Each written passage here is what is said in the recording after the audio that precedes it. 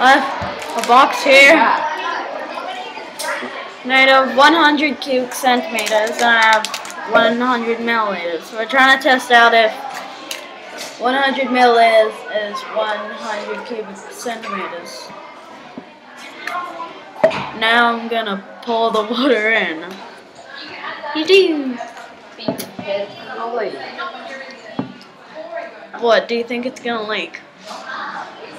Oh man. I can see it in the corners.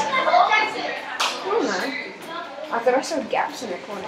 Yep, yep, here we go, here we go. Here comes the leak out the other side. Oh, it's going pretty quick.